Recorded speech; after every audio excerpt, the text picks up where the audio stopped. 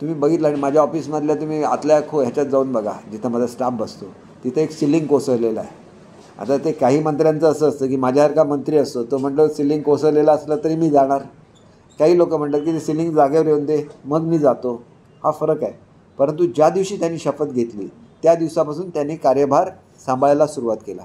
प्रत्येकाचा जो बंगला आहे प्रत्येकाच्या बंगल्यामध्ये ऑफिस गव्हर्नमेंटने दिलेलं आहे. त्या ऑफिसमधून ते ऑपरेट करू शकतात. अनेक लोकांची जी इतर ऑफिसेस होते त्याच्यामधून ते ऑपरेट करतात शेवटी आपण एखाद्या कार्यालयामध्ये जातो. आता तुम्ही माझ्या कार्यालयामध्ये आलो. इथं अजून आपल्या नॅशनल लिडरशिप फोटोसं लावायचे आहेत. पण तुम्ही त्याच्यासाठी थांबलो नाही. मी फोटो लावायचे म्हणून थांबलो. उद्या मुलांच्या शिक्षणामध्ये कुठ कुठे कुचराई झाली? तुम्हीच मला विचारणार आहे ना?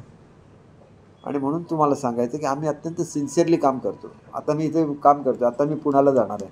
उद्या सकाळी नऊ वाजल्यापासून साडेतीन वाजेपर्यंत माझ्या मीटिंग मी डिपार्टमेंटच्या घेणार. त्यानंतर वेगवेगळ्या स्कूल्सना भेटी देणार आहे. आम्ही किती काम करतो ते बघा तुमच्या सरकारमधले मंत्री किती तास काम करत होते ते बघा तुमचे मुख्यमंत्री किती तास लोकांना भेटत होते आणि किती तास काम करत होते ते बघा आणि आमचे मुख्यमंत्री किती तास काम करतात आणि किती तास लोकांना भेटतात हे सुद्धा बघा. आणि ह्याच्यावर सरकारची एफिशियन्सी ठरते. सरकारची एफिशियन्सी तुम्ही जे परफॉर्म करता त्याच्यावर एफिशियन्सी ठरते. कितीतरी निर्णय घेतले. मी माझ्या शिक्षण खात्यामध्ये किमान पाच सहा मोठे निर्णय घेतले. याने महाराष्ट्राचा चेहरामोहरा बदलू शकेल. योग्य वेळेला मुख्यमंत्री ते सगळे निर्णय जाहीर करतील. आम्ही एवढं काम करतो मग काम करणाऱ्या माणसांवर तुम्ही टीका करता.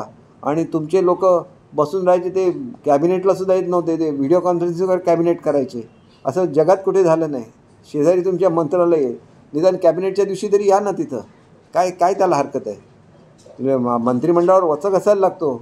तो व्हिडिओ कॉन्फरन्सिंगने तो वचक नसतो. तो वचक हा तिथं उपस्थित राहून ठेवायला लागतो. आणि तो ठेवायलाच लागतो नाही तर दुसरी लोक मग मंत्रिमंडळ चालवतात.